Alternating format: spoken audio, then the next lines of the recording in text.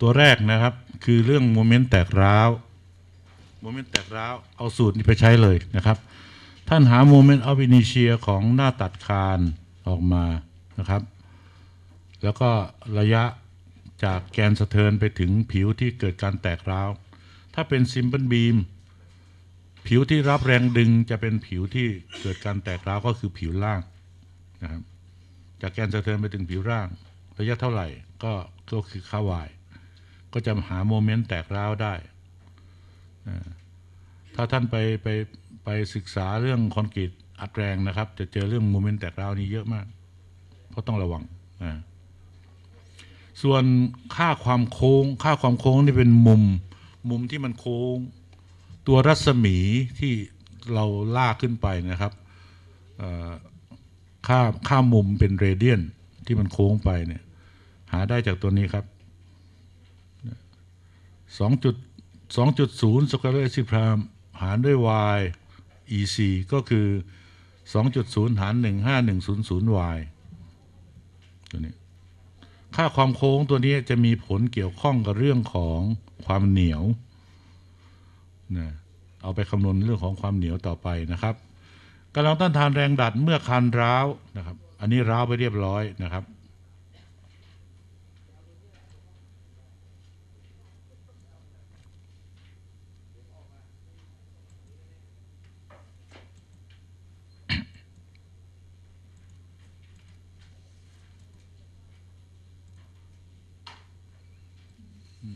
เดี๋ยวนะ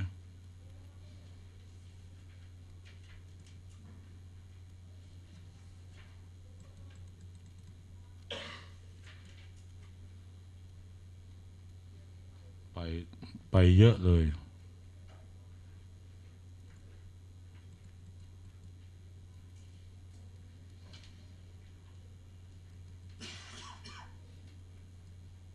อ่าเจอแล้วเจอแล้ว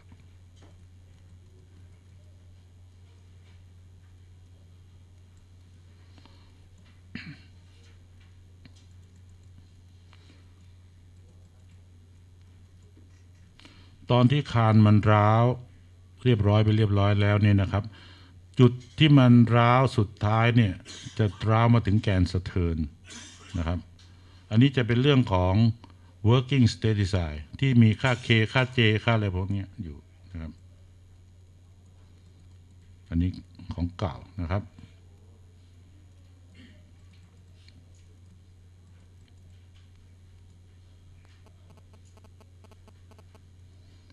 นี่ครับ สูตรในการคำนวณหาค่า k นะครับเราต้องหาค่าโรก่อนนะครับ ค่าโรตัวนี้เอาเนื้อที่หน้าตัดเหล็กรับแรงดึงหารด้วย BD นะครับ BD นี่ก็คือเนื้อที่หน้าตัดประสิทธิผลนะ D เป็นความลึกประสิทธิผลจากผิวรับแรงอัด ถึงเซนทรอยเหล็กรับแรงดึงนะครับ B ความกว้างของคาน AS เป็นเนื้อที่หน้าตัดเหล็กรับแรงดึง ถ้ามีขีดมีแดช ข้างบนนะครับ ก็จะเป็นเหล็กรับแรงอัดนะตอนนี้พูดเฉพาะเหล็กรับแรงดึง ก็จะมีสูตรตัวนี้ครับค่า K เอาค่าโร N นะครับ ยกกำลังสองบวกสองเท่าของโร N ถอดรูทสองลบด้วยค่าโร N อันนี้เป็นค่า K พอได้ค่า K มาเสร็จเรียบร้อยแล้วหนึ่งลบ K ส่วนสามบางคนอาจจะบอกว่าโอ้ยอาจารย์ สูตรค่า K ง่าย ๆ มันมันมันมีไม่ใช่หรือมี อันนั้นเป็นกรณีเงื่อนไขเดียวคือกรณีที่มันเสริมเหล็กสมดุล ที่ว่า K เท่ากับ 1 หารด้วย 1 บวก Fs ส่วน NFC อะนะครับถ้าเป็นกรณีอื่นไม่ใช่ ต้องใช้สูตรนี้นะครับไม่ใช่สูตรนี้ แล้วได้ค่า K ค่า J มาแล้วก็หาค่า R R เซนเซนส่วนสอง FC KJ FC นี้จุดสี่ห้า FC พรางนะครับ โมเมนต์ก็ AS FS JD หรือเซนหรือว่า RBD กำลังสอง ตัวเนี้ยที่เราจะมีการใช้เยอะนะครับ RBD กำลังสอง แต่ว่าในตอน String Design ไม่ใช้นะไม่ใช้เลย อันนี้เป็นการเรียนเหมือนประวัติศาสตร์เท่านั้นเอง พอเหล็กเริ่มครากนะครับ เหล็กเริ่มคราก โมเมนต์ตอนเหล็กครากครับ AS FY JD J ยังคงใช้ J ของของไอตัว working อยู่ J ตัวนี้นะครับ J 1ลบ K ส่วน 3 K ก็คือสูตรนี้นี่ย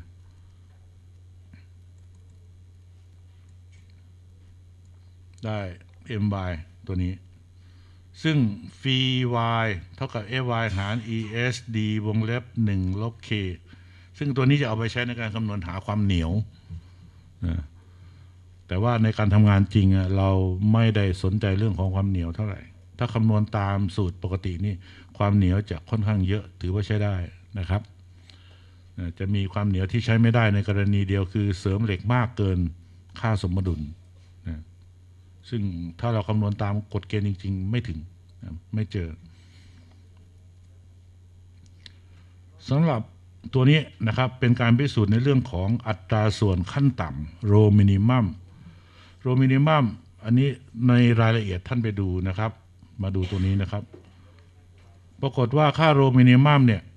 มันจะมีค่าอยู่ระหว่างนะครับ โดยที่เมื่อใช้ FC prime 250 กับ 400 นะครับ ค่า rho minimum อยู่ระหว่าง 12.65 ถึง 16 มาตรฐาน ACI ซึ่งวสทก็ไปก๊อปปี้เข้ามาเนี่ยนะครับ ก็เลยกำหนดไว้ว่าค่าโรมินิมัมนี่ให้ใช้ 14 ส่วน FY นะครับอย่าลืมนะครับค่าโรเนี่ยเอาเนื้อที่หน้าตัดเหล็กรับแรงดึงหารด้วย BD นะครับเนี่ยค่าขั้นต่ำคือ 14ส่วน FY ถ้ากรณีที่เราคำนวณแล้ว พบว่าค่าโรนี่มันน้อยกว่าค่าโรมินิมัมทำได้สองอย่างนะครับเลือกใช้ค่าโรเท่ากับ 14 ส่วน FY หรือเพิ่มค่าอีก 1 ใน 3 ก็คือเอา 1.33 ไปคูณ คูณ AS ที่เราคำนวณได้ทำได้ 2 อย่างนะครับ แต่เรื่องค่าโรมินิมัมเนี่ยไม่ไม่ต้องใช้ในพื้นกับฐานราก นะครับ ในพื้นในฐานรากเนี่ยเขาจะไม่ใช้ตัวนี้เขาจะเขาใช้อีกตัวหนึ่งจุด0025 BH จุด0020 BH จุด0018 BH สำหรับเหล็ก SR 24 SD 30 SD 40นะครับซึ่งอันนั้นในรายรายละเอียดของแต่ละเรื่องก็จะมีกำหนดเอาไว้อยู่ในเอกสารอยู่แล้วนะครับ ไม่ต้องไปห่วงเพียงแต่ว่าเรา ไอตัวค่าโร14ส่วน FY เนี่ยเราใช้กันเรื่องคานนะครับ ในเรื่องคานเท่านั้น เรื่องพื้นเรื่องฐานรากไม่ใช้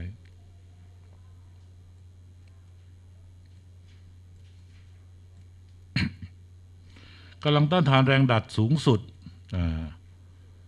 ท่านต้องหาค่าเบต้าหนึ่งให้ได้ สิ่งที่เราต้องทราบมาก่อนคืออะไรครับ FC พรามต้องทราบนะ FY ต้องทราบ เมื่อทราบ FC พรามหาเบต้าหนึ่งได้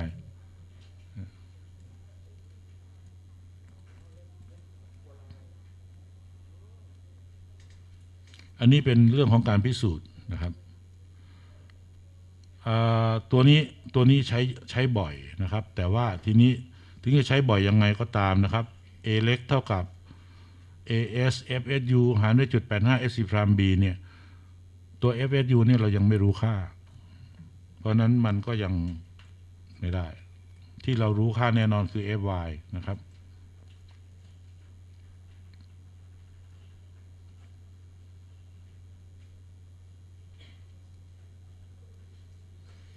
สูตรพวกนี้เว้นไว้ก่อนนะครับ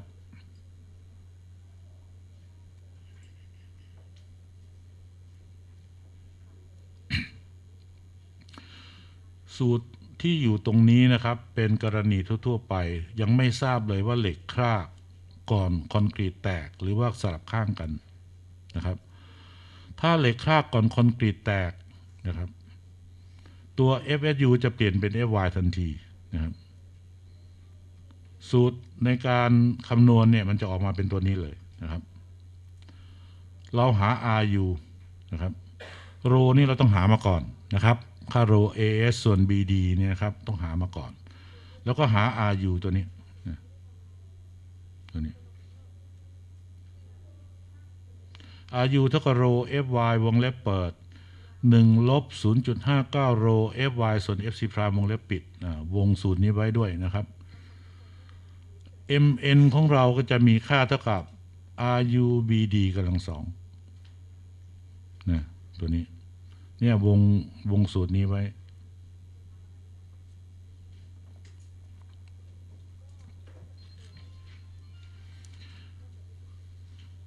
ในการหาค่า mn นะครับ แต่เวลาจะเอาไปใช้จริง อย่าลืมเอาค่าฟรี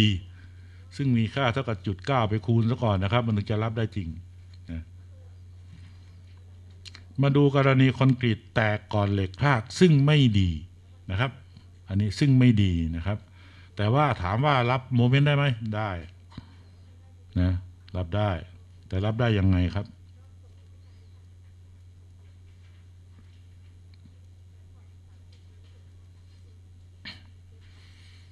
มาดูตัวนี้ครับ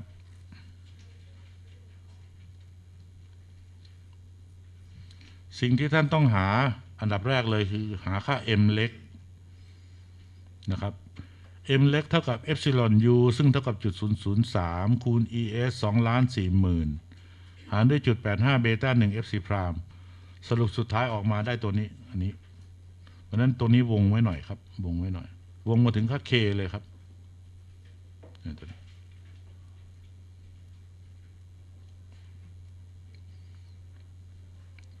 เรารู้ค่าโร รู้ค่า m นะครับ รู้ค่า m เอามาคูณกัน แล้วแทนค่าในสูตรตัวนี้ เราจะได้ค่า ku มานะครับ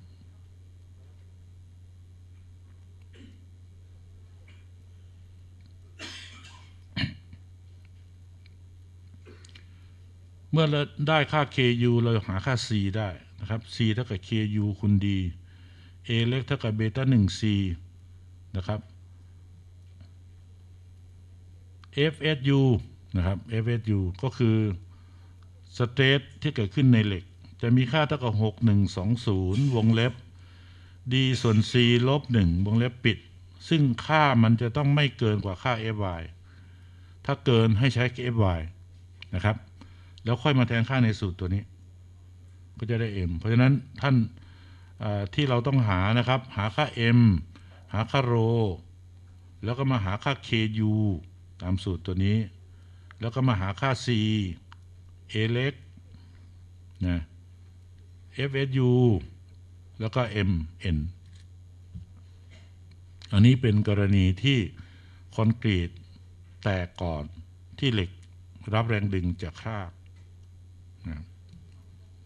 วงไว้นะครับวงไว้เฉยๆ ไม่เป็นไร เวลานั้นก็แค่ตรวจสอบตนเองว่า ใครใครพังก่อนกัน ทีนี้อัตราส่วนของเหล็กเสริมที่สภาวะสมดุล ก็ต้องมานิยามก่อนว่า สภาวะสมดุลคืออะไร สภาวะสมดุลคือสภาวะที่คอนกรีตมีสเตรนจุด003 พร้อมกันนั้นเหล็กรับแรงดึงครากพร้อมกันเลยนะครับ มายความว่าเสริมเหล็กได้พอดีพอดีที่ทำให้ ตอนที่มันรับโมเมนต์รับไปเรื่อยๆเรื่อยคอนกรีตมีสเตน รับแรงอัดนะครับสเตนรับแรงอัดเนี่ยจุดศูนย์ศูนย์สามเหล็กรับแรงดึงครากพร้อมกันก็เรียกว่าสภาวะสมดุล ก็ต้องพิจารณาจากรูป ซึ่งวุ่นวายพอสมควรนะครับ พิสูจน์สูตรแล้วเนี่ย ท่านวงตัวนี้ครับ นี่ครับ โรบีมีค่าเท่ากับเบต้าหนึ่งจุดแปดห้า fc พรามส่วน fy หกหนึ่งสองศูนย์หารหกหนึ่งสองศูนย์บวก fy ค่าโรบีนะครับ เป็นอัตราส่วนสมดุล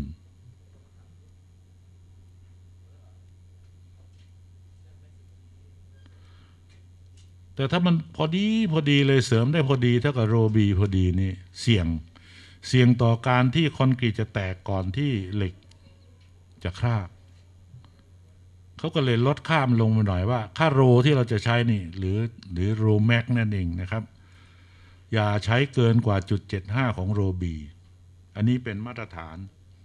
มาตรฐาน ACI หรือวสทนะครับ หมายความว่าไงครับ หมายความว่าถ้าเป็นโครงสร้างที่มีเฉพาะเหล็กรับแรงดึงนั้น ห้ามใช้โรแม็กห้ามใช้โรเนี่ยเกินกว่าโรแม็กโครงสร้างตัวนี้คืออะไรครับ โครงสร้างที่มีเฉพาะเหล็กรับแรงดึง พื้นกับฐานรากครับ แต่ถ้าเป็นคานมีเหล็กรับแรงอัดอยู่ด้วยเสมอ สูตรจะไม่ใช่ง่าย ๆ อย่างนี้ครับ สูตรจะยุ่งกว่านี้ แต่ยังคงเป็นจุด75โรบีนะครับ แต่ว่าไม่ใช้ค่าโรแม็กดื้อมันจะมีค่าสัดส่วนอะไรของพิเศษของมัน สรุปขั้นตอนการหาแรงดัดสูงสุด เมื่อมีเฉพาะเหล็กรับแรงดึง อย่าลืมนะครับ อันนี้หมายความว่าเรารู้หน้าตัดรู้เหล็กเสริม รู้ FC พรามรู้ FY มาแล้วเรียบร้อย รู้ตำแหน่งเหล็กเรียบร้อย อยากทราบว่ามันรับโมเมนต์ได้เท่าไหร่ ก็คือขั้นตอนแรกของการออกแบบ ในการออกแบบนั้นเราจะจะต้องหาวิเคราะห์คือเพิ่มน้ำหนักเรียบร้อยไปวิเคราะห์โครงสร้าง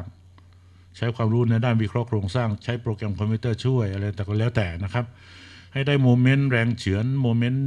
ดัดเอ้โมเมนต์บิดมา แล้วก็สมมุติหน้าตัดขึ้นมา สมมติเหล็กเสริม แล้วก็หาโมเมนต์ดัดสูงสุด หาแรงเฉือนที่มันรับได้ หาโมเมนต์บิดที่มันรับได้ ถ้ามันเกินกว่าโมเมนต์ดัดที่เกิดขึ้น แรงเฉือนที่เกิดขึ้นโมเมนต์บิดที่เกิดขึ้น หน้าตัดที่เดาขึ้นมาตอนนั้นก็คือรับได้ อันนี้ต่างจากวิธีหน่วยแรงใช้งาน หน่วยแรงใช้งานเราได้โมเมนต์ได้แรงเฉือนมาเราออกแบบได้เลยใช่ไหมแต่ท่านทราบไหม อันนั้นนะก็ยังเชื่อไม่ได้ เป็นค่า approximate ค่า approximate เพราะเหตุหลักเลยก็คือว่า ค่า k ค่า j เราใช้ค่าสมดุล ในการออกแบบ ซึ่งมันไม่จริงนะครับ ไม่จริง ไม่ตรง อะ มาดูนะครับ ข้อมูลขั้นต้นทราบอะไร ทราบความกว้างคานนะครับ ความกว้างคานความลึกประสิทธิผลนะครับ AS เนื้อที่หน้าตัดเหล็ก SC พรามสเต็งคอนกรีตนะครับ FY จุดค่าของเหล็กโมดูลาร์ที่อยู่นี่สองล้านสี่หมื่นนะครับบางคนบอกโอ้หนังสือบางเล่มสองล้านหนังสือบางเล่มสองล้านหนึ่งแสนอันนี้อยู่ที่กลางๆนะครับไอ้สูตรที่ว่าหกหนึ่งสองศูนย์อะ มาจากค่า ES สองล้านสี่หมื่นถ้าเป็นสองล้านเนี่ยมันจะไม่ใช่นะครับสองล้านหนึ่งแสนก็จะไม่ใช่สูตรนั้นนะครับหาเบต้าหนึ่งครับนะครับหาเบต้าหนึ่งหาค่าโร หาค่าโรมินิมัมหาค่าโรบีหาค่าโรแม็กเตรียมไว้ตรวจสอบครับ ตรวจสอบ ค่าโรจริง กับค่าโรมินิมัมกับค่าโรแม็กนะถ้าโรน้อยกว่าโรโรมินิมัมปริมาณเหล็กน้อยครับ ก็หยุดวิเคราะห์ เหล็กน้อยเกินไป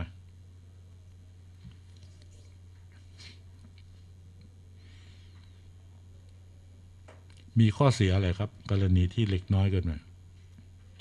มันแตกมันร้าวง่ายครับ ดีเฟกก็เยอะโก่งตัวเยอะถ้าโรอยู่ระหว่างโรมินิมัมกับโรบีโอเค เหล็กเสริมรับแรงดึงครากก่อนคอนกรีตถูกอัดแตก ก็หาความสามารถในการรับน้ำหนักได้นะครับ ถ้าโรมากกว่าโรบีอันนี้เหล็กเสริมมากเกินไป ไม่ดี คอนกรีตจะแตกก่อนที่เหล็กจะคราก แต่ก็หาโมเมนต์ที่มันรับได้เหมือนกัน มีมันสามารถรับโมเมนต์ได้นะครับ แต่ว่าถ้ามันรับน้ำรับน้ำหนักมากเกินไปเนี่ยครับมันจะแตกมันจะหักเนี่ยหักก่อนที่หักก่อนที่เหล็กจะคราก็คือมันหักโครมลงมาเลย ไม่ดีทำนายได้ ถ้าพังก็คือพังทันทีเพราะนั้นอาคารที่เป็นอาคารสาธารณะ พวกโรงเรียน โรงพยาบาล โรงแรมอพาร์ตเมนต์คือที่คนอยู่เยอะๆ อย่าออกแบบประเภทที่สามนะครับ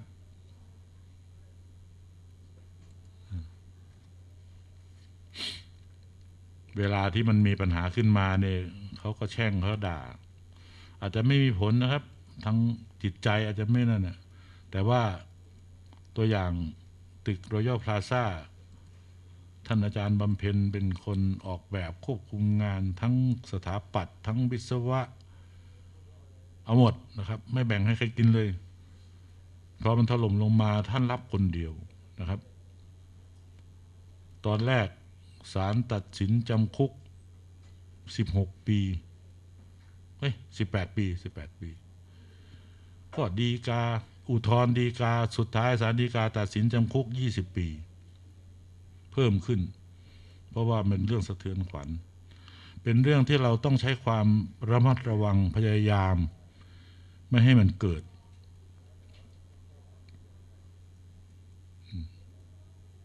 ความรับผิดเราเยอะนะครับ แต่ความรับชอบคือค่าค่าค่าตอบแทนเราน้อย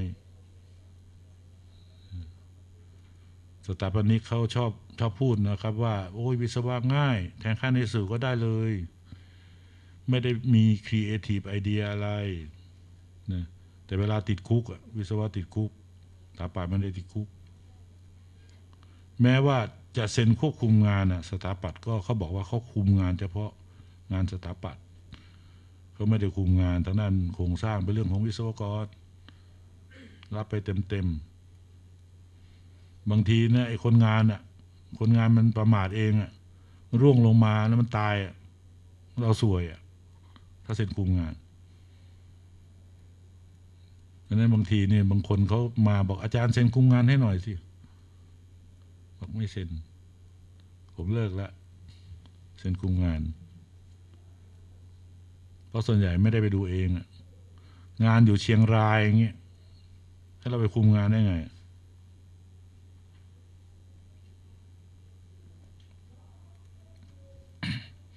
กรณีที่สามนี่เป็นกรณีที่เหล็กคราบก่อนคอนกรีตแตกก็คือ ค่าโรอยู่ระหว่างโรมินิมัมกับโรบีนะครับ ก็มาหาค่า A ครับ ASFY จุดหารด้วยจุด85 SC พราม B นะแล้วก็หา MN เลยนะครับ ASFY วงเล็บ D ลบ A ส่วน2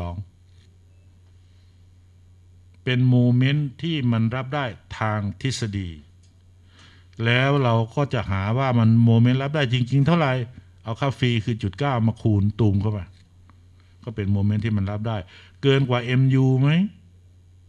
เกินกว่าโมเมนต์ที่เกิดขึ้นไหมถ้ามันเกินแสดงว่าไอ้คานที่เรา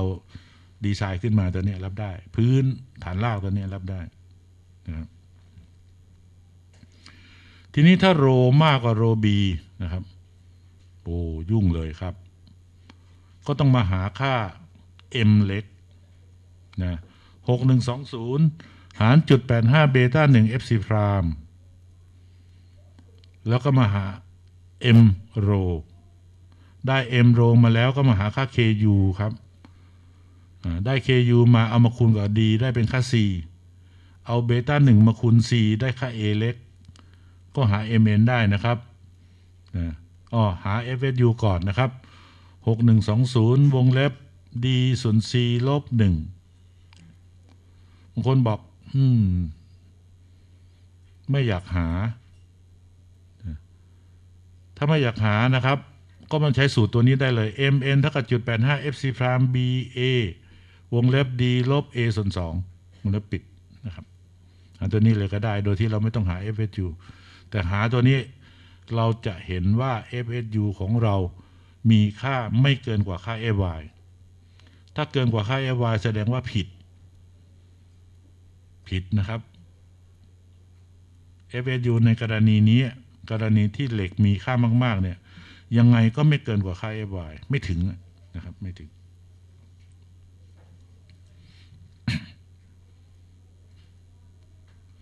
มาดูเรื่องของความเหนียวครับ ความเหนียวเนี่ยเขาเอาค่าความโค้ง ตอนที่มันหัก ตอนที่มันพัง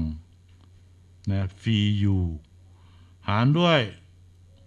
ความโค้งตอนที่เหล็กเสริมรับแรงดึงมันคราบต้องมากๆนะครับ ยิ่งมากเท่าไหร่ยิ่งเหนียวนะถ้าจะดูสูตรเลยนะครับสำหรับค่ามิวนะครับความเหนียวเนี่ย เอาเบต้าหนึ่งคูณดีวงเล็บหนึ่งลบเควงเล็บปิดส่วน A ไม่ใช่ KU นะครับ K นี่ในเรื่องของ working นะครับนะ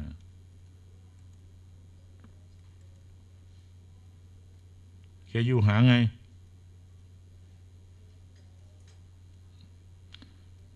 สแควร์รูทของโร n ยกกำลังสองบวกสองโร n ได้เท่าไหร่แล้วเนี่ยเอาลบด้วยโร n อีกทีหนึ่งตอนแรก ๆ นะครับ เปิดได้นะครับ เปิดได้ ถ้าอยากรู้ว่ามันเท่าไหร่เนี่ยเปิดเอานะครับ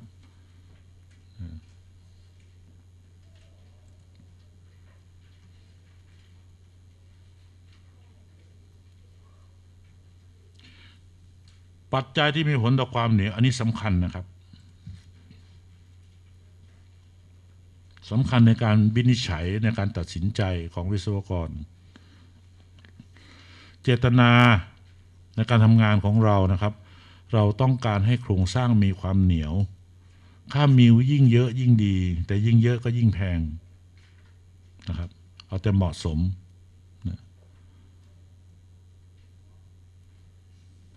อันดับแรกเลยนะครับ เหล็กรับแรงดึงถ้ามากขึ้นความเหนียวลดครับ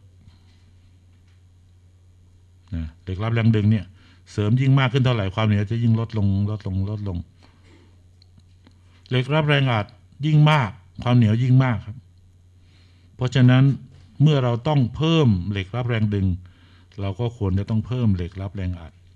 ให้มันไปถ่วงกันนะครับ ระหว่างเหล็กกับเหล็กนะครับ เมื่อเพิ่มเหล็กรับแรงดึง เราเพิ่มเหล็กรับแรงอัดนะทีนี้มาดูเรื่องของสเตรงสเตรงเหล็ก Fy นะครับ Fy ยิ่งเยอะ ความเหนียวยิ่งลดครับ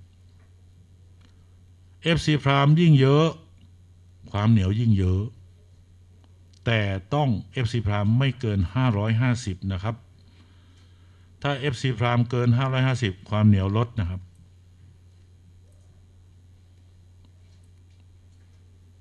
ไอ้ตรงนี้แหละที่ทำให้ผมสงสัยในการออกมาตรฐานออกไอ้กฎกระทรวงฉบับที่หกที่ให้ใช้ FC พรามไม่เกินหนึ่งร้อยห้าสิบอะเขารู้หรือเปล่าว่าเพิ่ม FC พรามให้มันมากขึ้นเนี่ย แต่ไม่เกินห้าร้อยห้าสิบนะทำให้โครงสร้างเราเหนียวขึ้น หักยากขึ้น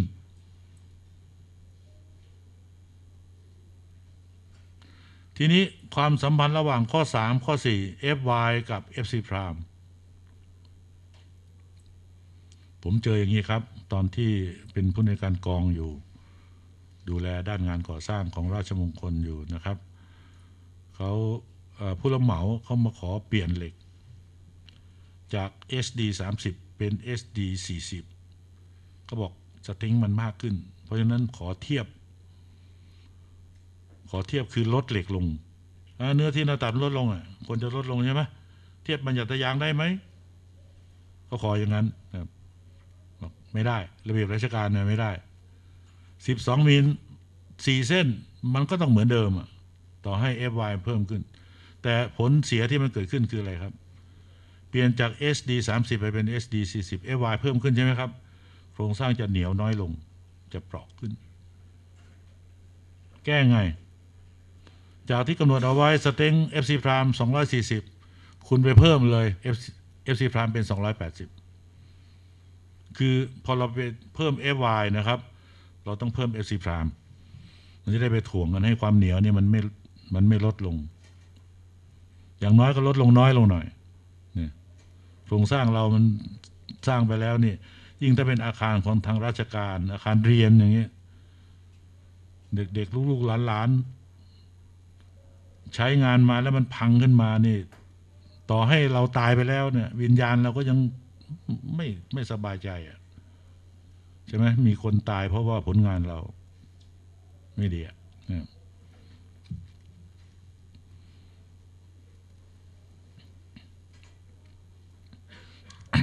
ตัวอย่างเห็นเห็นหน้าตัดตัวนี้แล้วเนี่ย ขอเล่าให้ฟังนิดหนึ่งนะครับ มีอาจารย์ในโรงเรียนในเรืออากาศ เป็นวิศวกรโยธาสามัญด้วยนะเขาออกแบบแล้วเขาก็มีเฉพาะเหล็กอย่างเงี้ย เหล็กปลอกก็ไม่มี เหล็กรับแรงอัดก็ไม่มี ส่งไปยื่นขออนุญาต สมัยโน้นเนี่ยเขาเขายังตรวจแรงคำนวณตรวจตรวจตรวจเขาบอกไม่ได้ ไม่อนุญาตทำไมไม่มีเหล็กปลอก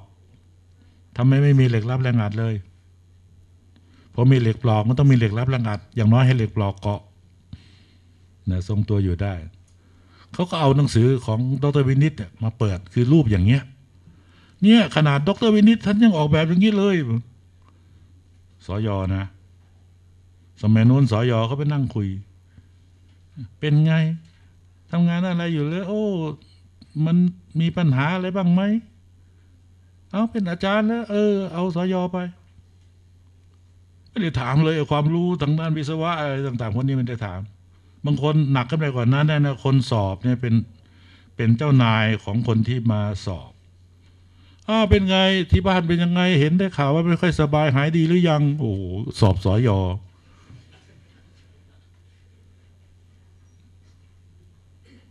ตลกอะ ตอนหลังมาพอรอยพาซาถล่มท่านโอ้โหคราวนี้ถามแหลกลานเลยนะครับบางทีสอบข้อเขียน อุตรุดบางคนก็ไปเอาเอาไอ้ข้อสอบแนวข้อสอบสอยอมา อาจารย์เฉลยให้หน่อย แล้วก็เฉลยให้นะแล้วก็ไปสอบ สอบตอนแรกนี่มันไม่ผ่าน ตอนหลังมาก็โอเค เฉลยให้แล้วก็ก็ไปเป็นแนว สอบก็ผ่าน ผมสอบผ่านเลยนะครับ อาจารย์มาเออ ดีดีดีดีรวยรวยห่างคุก เอออวยพรอย่างนี้ดีไหม ดีนะ ขอให้เป็นอย่าไปเสี่ยงอะกลับมาของเรานะครับ หน้าตัดตัวนี้นะครับ เป็นหน้าตัดทางจินตนาการหน่อยนะครับ ความกว้างเนี่ย ยี่ห้าเซน ความลึกหกสิบเซน เหล็กสามเส้นยี่สิบมิลนะครับ FC พรามสองร้อยสี่สิบ FY สามพันนะครับนะเอามาดูข้อมูลนะข้อมูลอืความกว้าง 25 เซน ความลึก 60 เซน ระยะหุ้ม 4 เซนติเมตรนะครับ เหล็กลูกตั้ง สมมุติว่าเป็น 9มิลลิเมตรนะครับจุด9เซนติเมตรเหล็ก2เซนติเมตรเหล็ก20มิลชั้นเดียว หาความลึกประสิทธิผลสังเกตดูนะครับ หาไงเห็นไหมดีเอาความลึกคาน 60 เซนลบระยะหุ้ม 4 เซนลบเหล็กลูกตั้งจุดเก้าเซนติเมตรลบครึ่งหนึ่งของขนาดเหล็กนะ สองจุดศูนย์ส่วนสองไม่ต้องละเอียดมากนะครับ บางคนเนี่ยเขาคิดถึงตรงตรงข้ออ้อย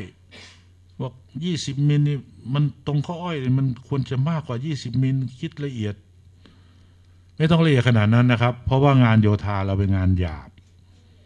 ของเราหยาบนะครับ น้ำหนักบรรทุกที่ใส่ก็หยาบมั่วขึ้นมา ตามกฎหมายตามอะไรต่างพวกนี้มันไม่เป๊ะเพราะนั้นไม่ต้องไปคำนวณโอ้เป๊ะละเอียด บอกเอ้า แล้วบอกว่าไม่เป๊ะอาจารย์ทำคำนวณเนี่ยทำไมทศยมเยอะจังเลย ระหว่างการคำนวณ คือที่เขียนอยู่ในหนังสือนี้นะครับ เป็นการจำลองสถานการณ์ในกรณีที่คุณใช้โปรแกรมคอมพิวเตอร์ ใช้ Excel ใช้อะไรต่างพวกนี้ซึ่งมันสามารถคำนวณได้ละเอียด ถ้าไปไปคำนวณแบบอย่างหยาบหยาบนะพอไปใช้โปรแกรมคอมพิวเตอร์เอ๊ะทำไมไม่เหมือน สงสัยแล้ว พอสงสัยก็เริ่มไม่มั่นใจ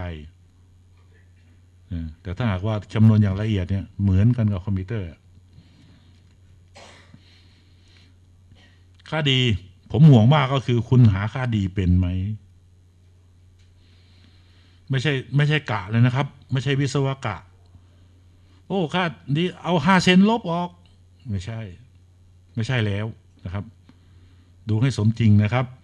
ความลึกลบระยะหุ้ม ระยะหุ้มสำหรับสำหรับคานเนี่ยบนล่างนี่คือสี่เซนติเมตรลบเหล็กลูกตั้งหรือว่าเหล็กปลอกนะครับ แล้วก็ลบอ,อันนี้เหล็กมันชั้นเดียวนะถ้าเป็นเหล็กสองชั้นก็ต้องคิดว่าระยะห่างระหว่างชั้นเท่าไหร่ 2.5 เซนนะครับ ต้องคิดตัวนั้น ถ้าเป็นสองชั้นเหมือนกันก็ เซนทรอยของเหล็กก็จะอยู่ที่ตรงช่องว่างนะโอเค ได้ค่าดีมา 54.1 AS เหล็ก 20 มิล เนื้อที่หน้าตัดเท่าไหร่เส้นหนึ่ง ค่าพาย 3.14 นะครับ มันพายส่วน 4 คูณ 2กำลัง2ก็เหลือค่าพายใช่ไหมเนี่ย3.14 ก็ 9.42 อันนี้ก็ไม่ต้องละเอียดมากขนาดว่าโอ้โหล่อทศยม 5-6ตำแหน่งนะครับ นิดเดียวพอ เพราะว่าเนื้อที่หน้าตัดเหล็กจริง ๆ ก็ไม่ตรงอะ ของจริงอะ SC พราม240 FY 3,000 ES 2ล้าน4หมื่นะครับ หาค่าเบต้าหนึ่งครับ FC พราม240 ยังไม่เกิน 280 ใช่ไหม ตามเงื่อนไขที่ดรวินนี่ท่านให้มา เบต้าหนึ่งคือจุด85 ค่าโร AS ส่วน BD อันนี้ทศนิยมยาวเหยียดเลยนะครับ อันนี้ตามที่บอกว่าเมื่อเอาไปคำนวณด้วยคอมพิวเตอร์ มันจะคำนวณละเอียดอย่างเงี้ยโรมินิมัม14ส่วน FY เป็นไงครับ จุด 00466 ค่า rho จริงจุด 00696 นะครับ มากกว่า rho minimum ใช่ไหม โอเค อันนี้ในส่วนของค่าขั้นต่ำนี่ผ่านนะครับ มาดู rho b ก่อน beta หนึ่งจุดแปดห้า fc prime ส่วน FY หกหนึ่งสองศูนย์หารโนหนึ่งสองศูนย์บวก FY จุดศูนย์สามแปดหลังทศนิยมมีศูนย์ตัวเดียวนะครับจุดศูนย์สามแปดคูณด้วยจุดเจ็ดห้าจุดศูนย์สองเก้านะของจริงนะครับจุดศูนย์ศูนย์หกเก้า ก็อยู่ระหว่างค่าโรมินิมัมกับค่าโรแม็กโอเค ดีนะครับ อันนี้ดี เหล็กรับแรงดึงคราก่อนที่คอนกรีตจะแตก เป็นหน้าตัดที่เหมาะสม มีความเหนียว แรงดันสูงสุด MN กรณีนี้เหล็กมันต้องคราเพราะฉะนั้น A เท่ากับ AS FY ตัวนี้ไม่ใช่ FSU นะครับ เป็น FY แล้ว หารด้วยจุด85 FC พราม B 5.54 นะครับ MNAS FYD ลบ A ส่วน2อ่าแทนค่าลงไป ได้มา เท่าไหร่หนึ่งล้านสี่แสนห้าหมื่นห้าร้อยหกสิบเก้าจุดหนึ่งเจ็ดหกนะครับ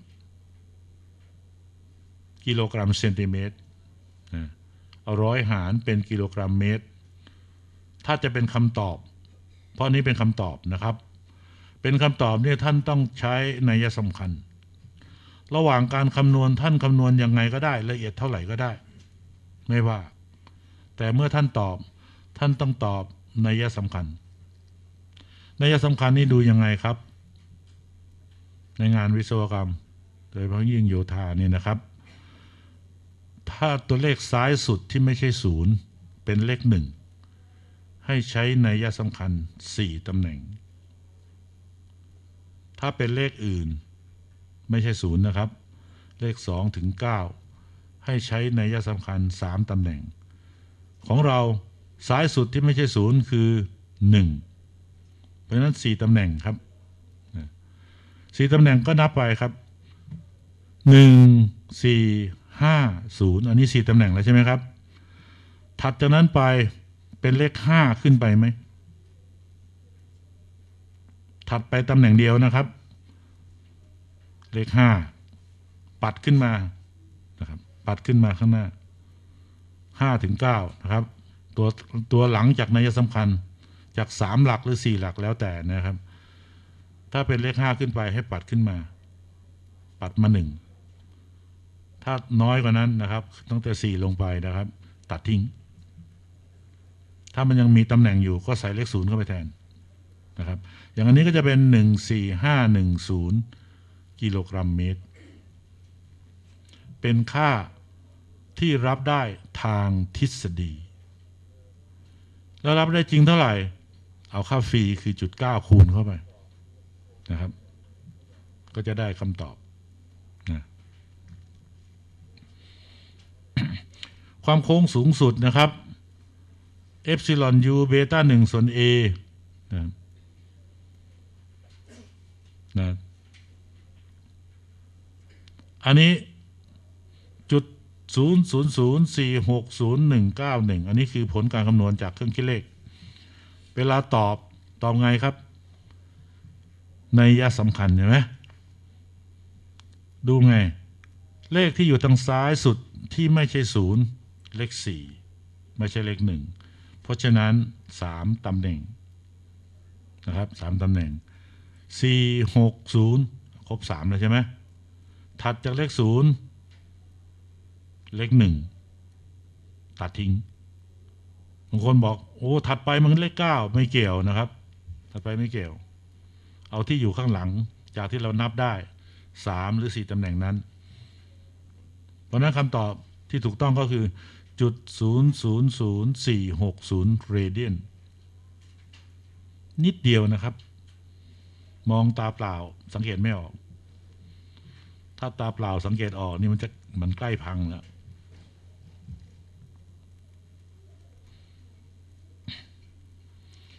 กำลังต้านทานแรงดัดแตกร้าว มาดูค่า n ไอ้ตรงนี้ช้านิดหนึ่งนะครับ ทางทฤษฎี แต่ว่าดูไปทำนั้นแหละ ดูไปเพื่อให้รู้ในงานจริงเราไม่ค่อยได้เจอ ไม่ค่อยได้ทำนะครับ ทราบไว้ ไม่เชิงความรู้รอบตัวนะครับ อันนี้เป็นความรู้ที่เรารู้อยู่ในตัวเราในการวินิจฉัย ปัญหา อาคารร้าว พังไม่พัง ต้องอาศัยความรู้พวกนี้นะความรู้พื้นฐานที่เราไม่ค่อยได้ใช้ในการออกแบบเท่าไหร่ หาค่า n ก่อนครับ ค่า n เท่ากับ2ล้าน4หมื่นหารด้วย 15100 square root fc prime ถ้าจะทอนเป็นตัวเลขเอามาง่าย ๆ ก็เอามาเป็น 135.099 หาร square root fc prime 8.72 ไม่จำเป็นต้องเป็นเลขจำนวนเต็มนะครับ ตอนที่ท่านเรียน working นะครับ ค่า n มักอาจารย์มักจะบอกว่าเป็นเลขจำนวนเต็มใช่ไหมไม่จริง ที่บอกว่าเป็นเลขจำนวนเต็มนะเพื่อประโยชน์ในการคำนวณ สมัยก่อนในการคำนวณนี่เราไม่มีเครื่องคิดเลข ใช้สไลด์รูลถ้าจะบวกลบเลข ใช้ลูกคิด ผมยังเคยใช้ลูกคิดำนวณทางสถิติโหนัวเนียเลย ลูกคิดจีนน่ะลูกคิดแบบเล็ก ๆ นะให้ลูกคิดญี่ปุ่นมากกว่า ตอนหลังมามีเครื่องคิดเลขมานี่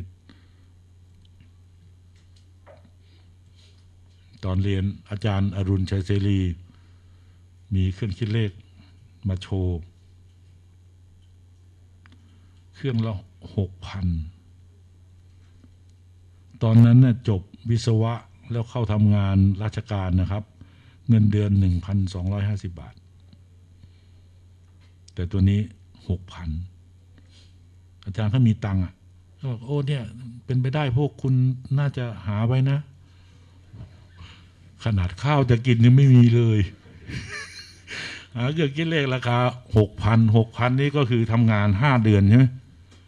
แล้วไม่กินด้วย ถึงจะซื้อได้ ในใจเราก็พูดเป็นหนังกร์ตูนเนี่ยนะอาจารย์ข้าวข้าวจะกินยังไม่มีเลย กินของไอ้ประชาสงเคราะห์ ตอนนั้นเนี่ยประชาสงเคราะห์เขามีอาหารสำหรับสำหรับนิสิตจนจนๆอะจานสองบาท มีไข่พะโล้ครึ่งครึ่งฟองเต้าหู้ ช่ไหมมันมีเต้าหู้อะแช่น้ำน้ำพะโล้อะอิ่มแล้ว น้ำแข็งอะใช้น้ำกระทืบ ตู้น้ำเออตู้น้ำเย็นน่ะน้ำปลาปลาค่ารถเมย์ห้าสิบตังค์ได้เงินไปเรียนห้าบาท พี่เขาก็ไม่เคยมี เงินเดือนก็พันสองร้อยห้าสิบาทร้อยตรี สนุก เงินซื้อหนังสือก็ไม่มี ยืมห้องสมุด โอ้โห ต้องอาศัยวิธียืม ประเภทยืมเวียน เข้าไปต้องไปแย่งชิง ยืมมาก็นั่งอ่าน ตะลุยอ่านเลย จดโน้ตถ่ายเอกสารก็ไม่มีแผ่นหนึ่งสามบาท แล้วกระดาษแฟกอะกระดาษเป็นกระดาษเคมีไงเกินเจ็ดวันซีดมองอ่านไม่ได้วันนั้นต้องจดเอา นะจดจดจดจดจดโอ้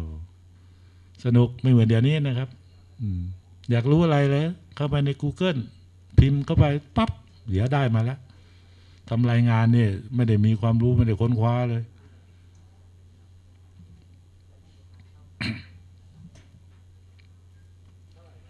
ก็แปลงหน้าตัดขึ้นมานะครับ แปลงหน้าตัดขึ้นมา ส่วนที่มันยื่นออกมาเนี่ยนะครับ มีค่าเท่ากับ n ลบหนึ่งคูณ as เฉพาะส่วนยื่นนะครับทำไมมันต้องลบหนึ่งอะ เมื่อแปลงเหล็กให้เป็นคอนกรีต เนื้อคอนกรีตมันต้องไปอุดรูที่เหล็กเคยอยู่ มันเลยลบหนึ่งนะส่วนที่มันเลยออกมาเนี่ย ถึงจะออกมาเป็นลบหนึ่งสองข้างนะครับ รวมกันเนี่ย n ลบหนึ่ง as แล้วก็มา ใช้ขอบบนหรือขอบล่างก็ได้นะครับ เป็นแกนหมุน หาเซนทรอยนะครับ เอาพื้นที่ เอาเนื้อที่คูณระยะเซนทรอยของแต่ละชิ้นแล้วหารด้วยผลรวมของพื้นที่ออกมาเป็นเซนทรอยอันนี้ห่างจากเอ่อเท่าไหร่เนี่ยยี่แปดหกสิบส่วนสองเจ็ดคูณห้าจุดเก้าโอเค อันนี้ขอบล่างครับห่างจากขอบล่าง แล้วก็มาหาโมเมนต์อ f วินิเชียสี่เหลี่ยมพื้นผ้าโมเมนต์อ f วินิเชียเท่าไหร่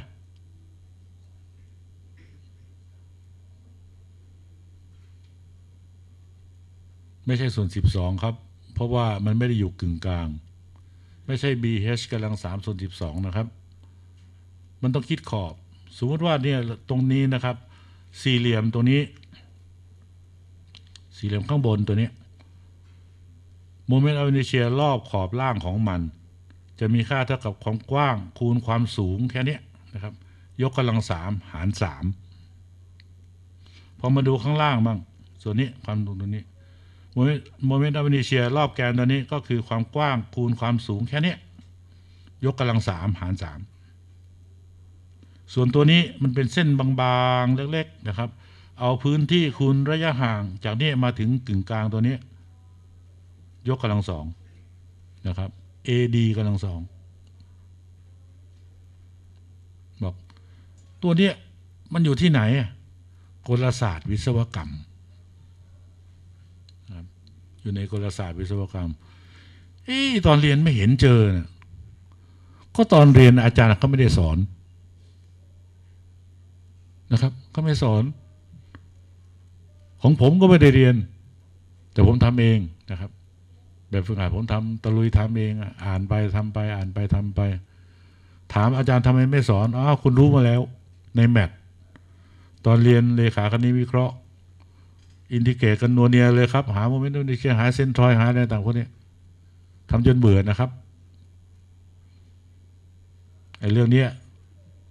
แบบฝึกหัดอาจารย์เขาจัดหามาให้โอ้เยอะ ประมาณพันข้อ ผมก็ทำหมดนั่นแหละ ทำแทบตายนะครับสอบมาได้เจ็ดสิบแปดไอ้ที่หนึ่งของรุ่นชัดชัย มันนั่งอยู่หน้าสุดเลยเนี่ยเซกหนึ่งมันสามสามกรุ๊ปเก้าสิบคนเนี่ยเรามันที่อันดับที่แปดสิบสอบเข้าได้ที่แปดสิบนั่งทางหลังห้องทำไม่ได้กัดปากกาก่อนแล้ว บิดนั่นเล่นก่อนแล้ว ดึงผมเล่นมันก็คิดไม่ออก ก็นั่งมือเผื่อให้มันใจมันเย็นลง เผื่อคิดออก ก็มองไปชัดชัยมันนั่งหน้าสุดเพราะมันที่หนึ่งของรุ่นเข้ามาคะแนนสูงสุด มันเขียนไม่หยุดเลยเว้ยมันไม่คิดเลยไงวะเราคิดแทบตาย ยังไม่ออก เพราะสอบออกมาเราก็ทำได้บ้าง พอเราใจเย็นๆสมองโล่งๆก็เริ่มคิดออกอะไรเงี้ยพอพอทำได้ ไม่ถึงแปดสิบก็ไปถามชัดชัยเฮ้ยชัดชัยกูทำไม่ได้กูนั่งดูมึงมึงเขียนไม่หยุดเลยอะมึงไม่หยุดคิดหรือไง มันก็พูดกวนๆบอกไอ้ที่กูเขียนยังไม่ทันที่กูคิดเลยบอกเออเออยอมมัน ยอมมันแล้วเรียนไฟฟ้ารุ่นผมเกียรตินิยมอันดับหนึ่งเหรียญทองมีคนเดียว อันดับหนึ่งมีคนเดียว ไอ้ที่สองของรุ่นก็ได้แค่เกียรตินิยมอันดับสองแล้วเขาก็ไปทำงานไฟฟ้าอีแกสุดท้ายต้องลาออก พูดกับคนไม่รู้เรื่อง เก่งเกิน คือเขาคิดเนี่ยเขาคิดเขาคิดเนี่ยเขาคิดพูดไปข้างหน้าเลยอะแล้วเขาก็พูดไอ้เราก็งงเอ๊ะมันมาได้ไงปะที่เขาพูด คือคนลักษณะอย่างเงี้ย เหมาะที่จะเป็นเขาเรียกว่าเป็นปัจเจกชน ทำงานวิจัยดีมากนะทำงานวิจัยเสร็จเรียบร้อยแล้วก็สรุปงานวิจัยให้ลูกน้อง ที่สามารถจะสื่อรู้เรื่องเป็นคนมาพูดมาบรรยาย ตัวเขาเองบรรยายไม่ได้ คนเก่งเกินไปไม่ดีนะครับ เก่งเกินขนาดอย่างนี้นะ จะมีปัญหา เพราะว่าคำว่า genius ที่แปลว่าอัจฉริยะ กับ idiot ที่แปลว่าปัญญาอ่อนเนี่ยห่างกันเส้นยาแดงผ่าแปด ทำไมว่าอย่างนั้น พอทำงานที่ e g a t เนี่ยครับก็จะมีการส่งไปดูงานต่างประเทศ ตอนนั้นจัดชัยเข้าไปกับไอเซงกับเพื่อนกันนี่แหละ ด้านล่างอยู่ในเครื่องบินน่ะการบินไทยด้วยเนี่ยเขาปลดเข็มขัด ลุกก็ยืนตรงร้องเพลงเชียร์นั่นขณะทำงานเลยเนี่ยร้องเพลงเชียร์คณะเพี้ยน สมองมันเพี้ยนอะเขาก็ต้องล็อกตัวให้อยู่ในที่นะครับ ก็มีเครื่องไออุปกรณ์พยาบาล พอเครื่องลงสนามบินนานาริตะ ก็โทรศัพท์ติดต่อกลับมา แล้วก็บอกกลับมาเลย ก็เลยไม่ได้ดูงานทั้งคู่อะตอนหลังมาก็ต้องลาออก เป็นแค่ระดับหัวหน้าแผนกแล้วก็ลาออก แต่ก็เป็น เป็นที่ปรึกษาให้ทำงานวิจัยให้อีแกตเขา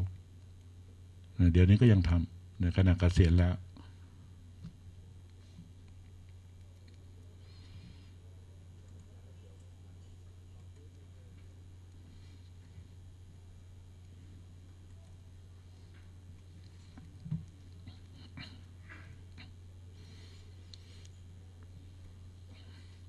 ก็หาค่า moment of inertia อะไรต่างพวกนี้ แล้วก็มาแทนค่านะครับ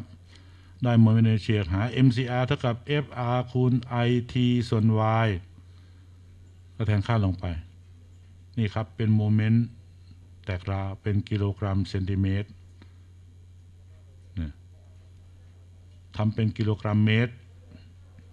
ตอบยังยัง ถ้าจะตอบดูเลยครับ ตัวเลขซ้ายสุด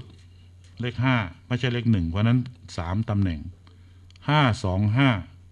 ครบสามเลยนะครับ ถัดจากตัวสุดท้ายคือเลขเก้านะเพราะนั้นต้องปัดหนึ่งเพราะมันเกินตั้งแต่ห้าขึ้นมาแล้วใช่ไหมปัดขึ้นมาหนึ่งคำตอบคือห้าสองหกศูนย์กิโลกรัมเมตร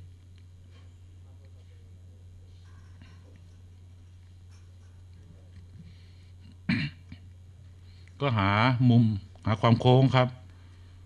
2.0สแควร์เอซิพรามส่วน 1510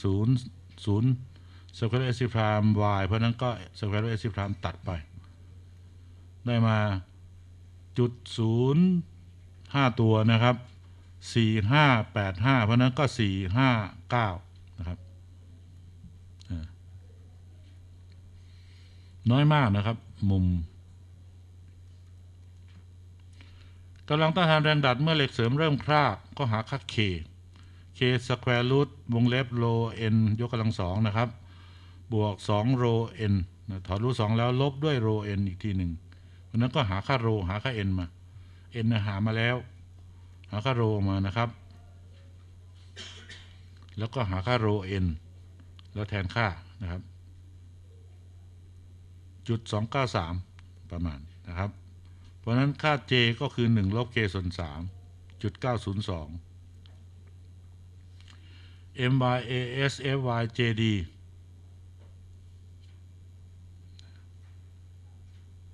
ได้มาเป็นกิโลกรัมเซนติเมตร หารด้วยร้อยเป็นกิโลกรัมเมตร หารด้วยพันเป็นตันเมตร 13.79 นะครับนัยสำคัญ 4 ตำแหน่ง ขึ้นต้นด้วยเลขหนึ่ง ความโค้ง fy ส่วน esd วงเล็บ1ลบ k จุด04 ตัว 384 ทีนี้ความเหนียว ความเหนียวนี่ดูค่าสูงสุดนะครับ Fu หารด้วยตอนที่มันเหล็กมันคราบ11.97 อย่างน้อยต้องสองนะครับ ความเหนียว ออกแบบปกติมันเกินอย่างละถ้าเราออกแบบปกติทั่วๆไปเนี่ยต้องแต่หกขึ้นไปแหละถ้าถ้าน้อยกว่าสองใช้ไม่ได้ครับ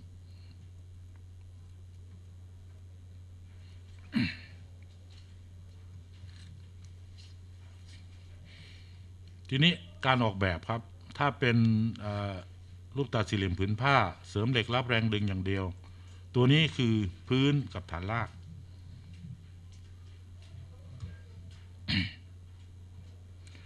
ต้องออกแบบให้โรไม่เกินกว่าค่า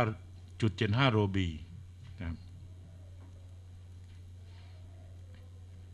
อันนี้ก็พิสูจน์ไปเรื่อยนะครับพิสูจน์ไปเรื่อย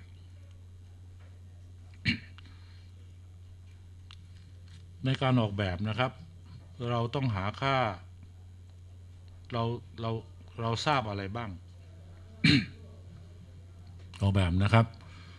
แน่ ๆ เลย FC prime FY ต้องทราบ ถ้าไม่ทราบออกแบบไม่ได้นะครับแล้วจะทราบจากไหน FY ง่ายสุดเหล็กอะไรล่ะ SR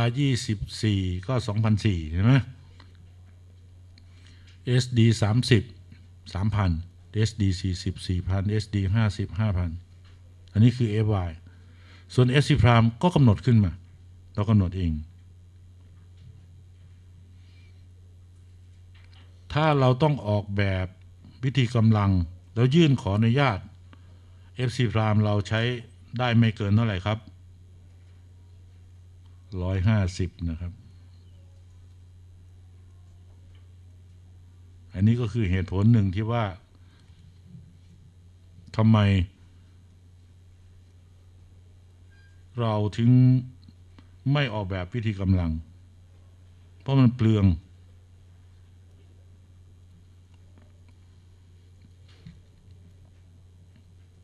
ทีนี้มันก็มีคำถามเหมือนกันอ้าวแล้วใช้มากกว่าได้ไหมเออผมใช้วิธีนี้ครับ ไม่ทราบว่า เวลาถ้าท่านใช้ใช้บ้างเนี่ย จะมีปัญหาไหม ผมออกแบบผมอาจจะใช้ FC prime 240เสร็จแล้ว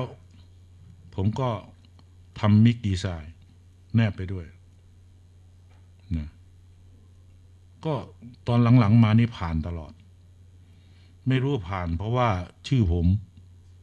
เขารู้จัก เขาก็เลยผ่านให้อืม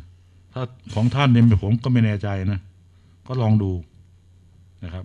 ลองดูว่า ถ้ามีมิกดีไซน์ไปด้วยอาลองดูตัวนี้ อันนี้เป็นเป็นเป็นมิกดีไซน์240 KSC นะครับ ทรงกระบอกเนี่ย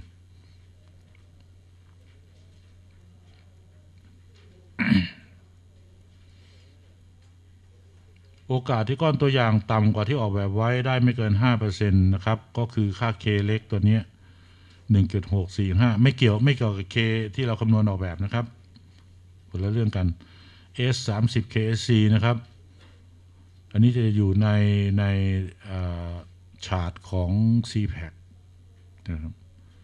ของคุณชัชวานเศรษฐบุตรทำเอาไว้นะครับ ข้อมูลของ c p a c พอดีไม่ได้ไม่ได้ copy ไปให้